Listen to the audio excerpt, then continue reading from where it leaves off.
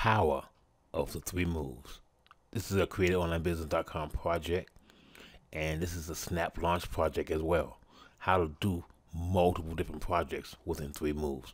This is where it all happens, good people. Check out the rest of the video and get started right now in three moves.